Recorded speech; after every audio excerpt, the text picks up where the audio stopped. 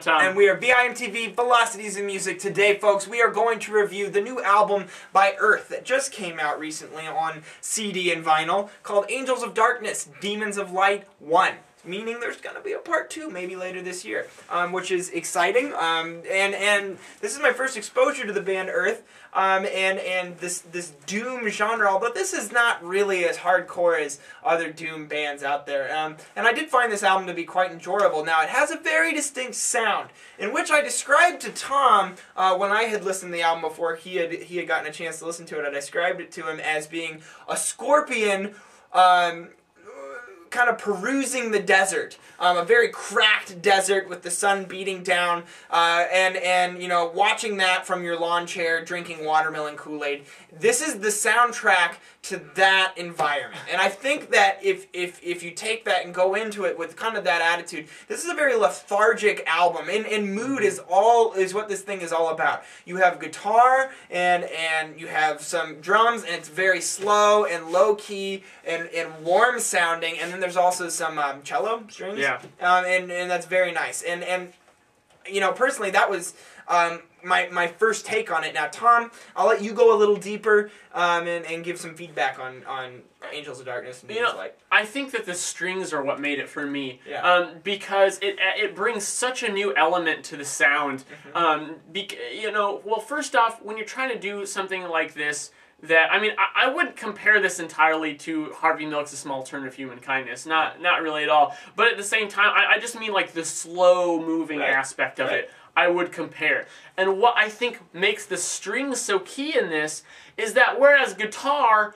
if you hit a note and it just rings out forever, then that's what it does. But but when you know when you're using a bow on a stringed instrument, then when you're when you're bowing it, you're playing it, but it's staying there the whole time. It, it- it's like the, the attack of the string is constant, and so that helps fill in the sound more. It helps thicken out up the sound, and, And I, re- I really like dynamic, that. It know? does, and and it brings a mood to it that's that's like funereal in a way, Right. um, and, and dark without being heavy Right. and over dramatic. Yeah, I never feel like I'm being attacked when I listen No, to this. I feel like this is just like like a soundtrack, and I and I Mhm. really enjoy it. I feel like I'm participating in the sound more than it's being presented to me, Mhm. and that's something that I highly valued when I listened to it. I did find it to be moody and um and and easy to listen to. At the same time, though, I found it to be kind of inaccessible just from the fact that it's only five tracks. Yeah, if that's they're if that- very long. Right. If that's something that concerns you, um, then I, I mean, I, I would be prepared because long tracks. But it is something that I find I can put put on and enjoy.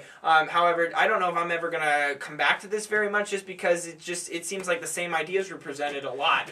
Um, yes, and that was my biggest complaint. Now, while I liked the sound overall, I felt like they could have done more with it, Mm-hmm. and that's my biggest complaint. Is that it is five tracks and it's still a long album. I mean, these tracks have to average at like eight to ten minutes. Oh yeah. And and- and the thing is, More. yeah, and the thing is, within those tracks, I don't feel like they take it everywhere they could. Right. They repeat still a lot of the same phrases, Right. uh, a lot, and It's and- minimal even for Doom. Yes, and, and I mean, so I wish that within the songs they would have grown and and reached more of a climax, or not repeated as much, went in different directions with it because it, it's kind of repetitive um, in the sound and mood and actual instrumentation.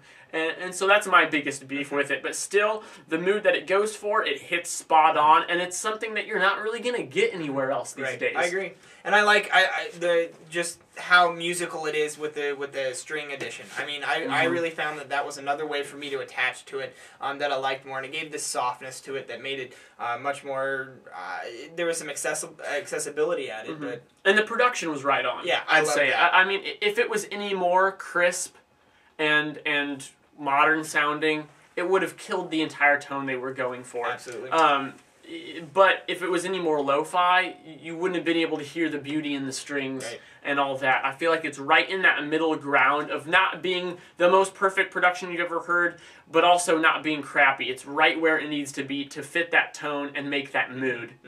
Yeah, and in, in, in the same vein, I mean, they didn't do any cool or neat or crazy tricks to it either to make Yeah. it anything more than what it is. They kept it real and Mhm. authentic sounding, which is always respectable. What are you thinking for a score on, on this? I'm one? gonna go 76. Yeah. I liked it. I'm thinking I'm thinking even 70. I feel like I feel like I want more, but there's just not a lot here, which I like. There's parts I like to it, and then parts that I don't like to it because I feel like, and maybe um, when I have a part two and I can listen to them both sequentially, um, I might get more out of it just that way. Um, but I just feel like there's just not enough content here for me to really fall in love with this. There's a lot of ideas present that I really like. I love the mood, I, and I did find the strings to be quite enjoyable. Mhm. But I feel like mid 70s is a good good indication of where this album's at. Um, I'm interested to see what you guys think, especially Earth fans. I've heard that these strings are new, um, and and having never listened to Earth before, um, I'm interested to see what you guys think of the string addition. Is this something that you felt enhanced Earth's sound, um, or do you prefer their older work? And if you have older work that you want to mention to us and talk about, we'd love to get a conversation going about this because that's what VIMTV is all about. Uh, so please leave us a comment at www dot slash velocities and music. Dot velocities and music. Try that one first. Or youtube.com slash velocities and music. I'm jake I'm Tom. and we are vimtv moving music critique forward